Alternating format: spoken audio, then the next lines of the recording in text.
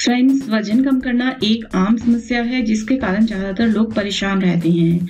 वज़न घटाने और मोटापे से छुटकारा पाने के लिए हम लोग हमेशा अलग अलग तरीके अपनाते हैं।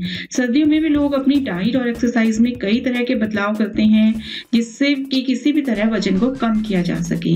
लेकिन क्या आप जानते हैं, कुछ लड्डू हैं जिनकी मदद से आप सर्दियों में तेज़ी से अपना वज़न कम कर सकते हैं? जी हाँ डियर फ्रेंड्स मैं हूँ डॉक्टर सीमा गुप्ता, एक आयुर्वेदिक डॉक्टर और आप जानते हैं। आप सर्दी के दौरान घर पर कुछ प्रकार के लड्डू को तैयार कर सेवन करने से अपना वज़न कम कर सकते हैं। तो फ्रेंड्स वीडियो को लास्ट तक ज़रूर देखिए और अगर आप मेरे चैनल पर नए हैं तो अभी सब्सक्राइब कर लीजिए और ऐसे अपडेट्स पाते रहने के लिए।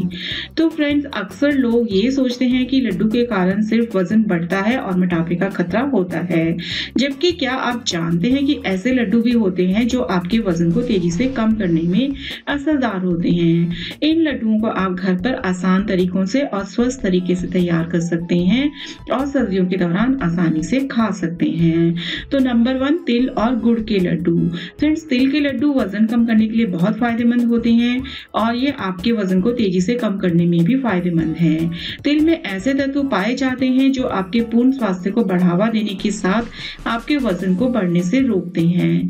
तिल के बीजों में प्रोटीन, फाइबर, आयरन, विटामिन और ओमेगा थ्री फैटी एसिड समेत अन्य पोषक तत्व मौजूद होते हैं, जो स्वस्थ त्वचा और बालों को बढ़ावा देने, शरीर से विषाक्त पदार्थों को बाहर निकालने, हार्मोन्स को संतुलित करने और हृदय स्वास्थ्य को स्वस्थ रखते हैं। ये लड्डू सर्दियों में आसानी से खाया जा सकता है। वैसे तो फ्रेंड्स आप सभी महिलाएँ ये लड्डू घर में अक्सर बनाती ही होंगी। एक आइडिया के लिए आपको बता देती हूँ, इसके लिए हमें सामग्री चाहिए। सफ़ेद तिल, पिसा हुआ गुड़ और घी अपने अनुसार। बनाने का तरीका जान लेते हैं। तिल और गुड़ के लड्डू बनाने के लिए आप सबसे पहले तिल को अच्छी तरह साफ़ कर लें। तिल को साफ़ करने के बाद इसे कढ़ाई में अच्छी तरह से भून लें। दूसरी तरफ़ गर्म पानी कर उसमें गुड़ को हल्का उबलने दें। गुड़ को अच्छी तरह से पकने के बाद आप इसमें भुने हुए तिल को डालकर मिक्स कर दें। अच्छी तरह से मिक्स करने के बाद आप इसमें पिघला हुआ घी मिला लें। ध्यान रहे, घी पूरे मिश्रण में अच्छी तरह से फैल जाना चाहिए, जिससे लड्डू में अच्छी पकड़ बन सके। इस मिश्रण को ठंडा होने के बाद आप इसे लड्डू का आकार दे सकते हैं।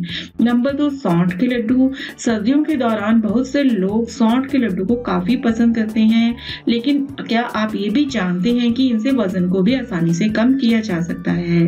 अक्सर लोग ये सोचते हैं कि सौंठ के लड्डू हमेशा गर्भवती महिलाओं के लिए ही होते हैं, जबकि ऐसा नहीं है। सौंठ के लड्डू कोई भी आसानी से खा सकता है और इससे वज़न कम करने में बहुत मदद मिलती है।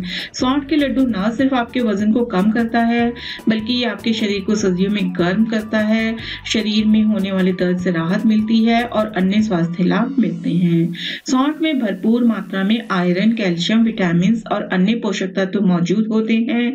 इसके साथ ही सर्दियों में होने वाली सुस्ती को दूर करने के लिए सौंठ के लड्डू असरदार हैं, क्योंकि इसका सेवन करने से आप दिन भर खुद को ऊर्जावान रख सकते हैं। तो क्या क्या चाहिए हमें ये बनाने के लिए? सौंठ, पाउडर, गोंद, नारियल और घी आटा, इलायची और सूखे मेवे। अब बनाने का तरीका जान लेते हैं। सौंठ के लड्डू बनाने के लिए ज़रूरी है कि आप सबसे पहले आटे और गोंद को अच्छी तरह से भून लें। जब ये पूरी तरह से भूरे हो जाएँ तो इन्हें निकाल लें। अब आप इस भुने हुए आटे और गोंद में सौंठ, बादाम पाउडर पिसा हुआ नारियल, मेवे और इलायची डाल दें। इन सभी चीज़ों को एक साथ मिला लें। आप इसे तब तक मिलाएँ जब तक ये पूरी तरह से मिल न जाए। घी को अलग से गर्म करके इस मिश्रण में डाल दें और अच्छी तरह से मिलाएँ। इसके बाद आप ठंडा होने पर इसके लड्डू बना लें और इसे किसी डिब्बे में रख दें। फ्रेंड्स नेक्स्ट मेथी के लड्डू। मेथी स्वास्थ्य के लिए कितनी फ़ायदेमंद है, ये तो आप जानते ही होंगे। लेकिन क्या आप जानते हैं, मेथी से बने लड्डू आपके वज़न को भी बढ़ने से रोकते हैं। मेथी में भारी मात्रा में carbohydrates protein sodium cholesterol vitamin A calcium और आयरन मौजूद होता है।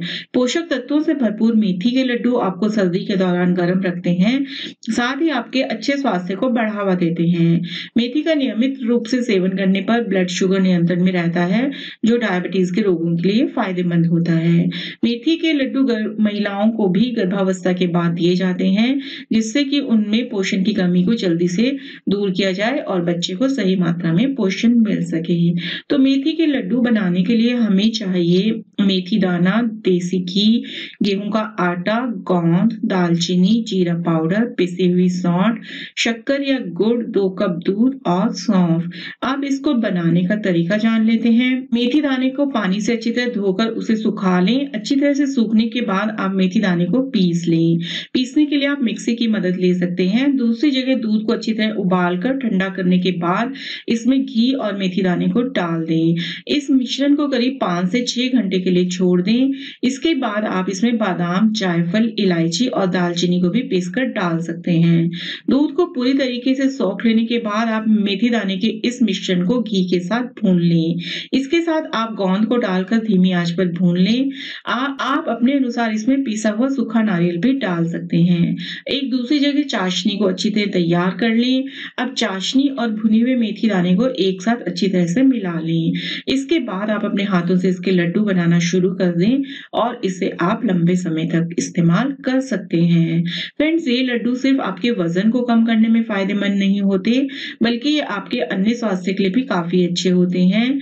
ये सभी लड्डू आपके जोड़ों में दर्द, सूजन और कई बीमारियों को दूर करने में मददगार होते हैं। इसके साथ ही आप इसकी मदद से सर्दियों में खुद को गर्म रख सकते हैं।